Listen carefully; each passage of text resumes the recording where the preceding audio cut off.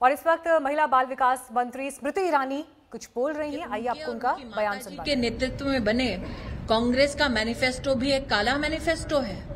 क्या वो ये मानना चाहते हैं कि कांग्रेस की जहाँ जहाँ प्रदेश की सरकारें हैं जहाँ पर कांग्रेस के शासन संविदा पर खेती करते हैं तो वो अमानवीय कदम है कांग्रेस पार्टी का।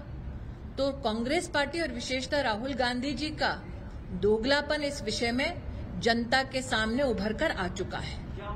और अगर उनको अगर उनको इतनी चिंता थी इन विधेयकों के बारे में तो वो अनुपस्थित क्यों थे स्वयं?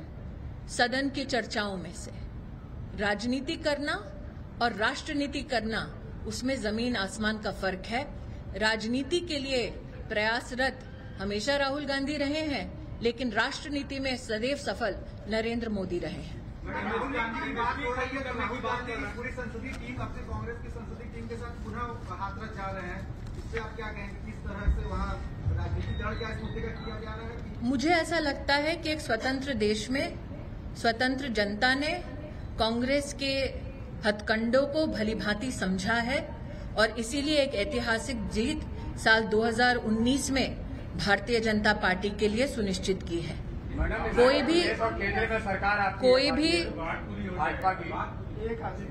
कोई भी राजनीतिक दल कोई भी राजनेता स्वयं अगर किसी भी विषय पर राजनीति करना चाहता है तो एक लोकतांत्रिक देश में मैं उस नेता को रोक नहीं सकती।